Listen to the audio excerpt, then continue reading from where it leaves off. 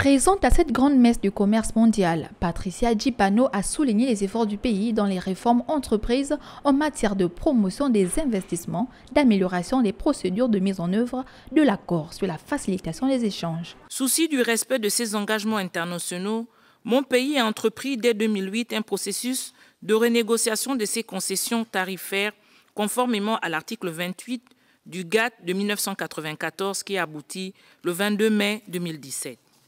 Monsieur le Président, Mesdames et Messieurs, euh, cette revue des politiques commerciales est l'occasion pour le Gabon de relever également les efforts importants engagés en une décennie à travers, entre autres, la promotion des investissements, l'amélioration des procédures relatives à la mise en œuvre de l'accord sur la facilitation des échanges. Occasion pour le ministre gabonais du Commerce de mettre en lumière les pratiques qui ont favorisé la bonne gouvernance au Gabon dans divers secteurs d'activité. Le secteur forêt connaît une évolution importante marquée par la poursuite du programme d'industrialisation de la filière bois. Le secteur agricole a connu une croissance forte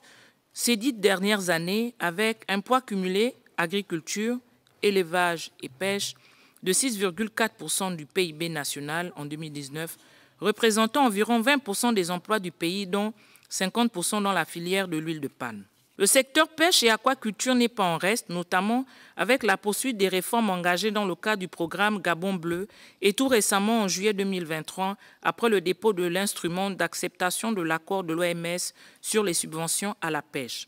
Le secteur tourisme et environnement a intégré l'option écotourisme et a mis en œuvre la stratégie nationale sur la biodiversité.